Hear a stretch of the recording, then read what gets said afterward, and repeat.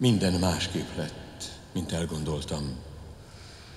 Az érettségi után 1905-ben Budapestre mentem bölcsész hallgatónak.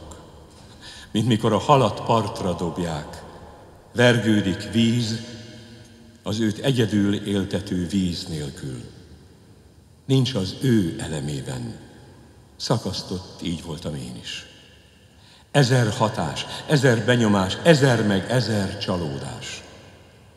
Nem az én világom volt ez. Kidobtak a partra, és elkezdtem vicánkolni. Szegény kis hal. Hol maradt az élő víz? Nem volt ez élet, künn az életben, hanem valóban ficánkolás. Ki volt dobva a partra a hal, levegő után kapkodott. Elnyelt mindenkit a magyar politika. Három színű volt. Kezdtük imádni önmagunkat, mi magyarok, a fiatalok, én is. Nini, mintha volna szónoki képességem. Monoron künn a szőlőben beszéltem. A magyar betegség, mintha engem is meglátogatott volna.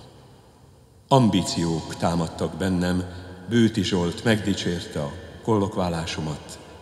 Riedelfrigyes dolgozatomban fölfedezte az írói kvalitásokat. A tudomány mindig jobban előtérbe lépett. Tudni, tudni minél többet, nagy feltűnő műveltségre szertenni, aztán utazni, látni, tapasztalni. A művészet minden irányban szenvedélyesen érdekelt. München az én városom lett. Ismertem, láttam, élveztem képeit, szobrait. Harmadéves voltam már, utaztam Olaszországban, Svájcban, a tenger majd meg bolondított szépségével. Gondoltam, majd író leszek.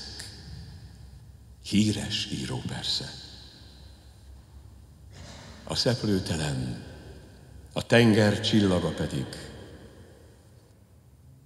elhalványodott. Felhők borították az eget.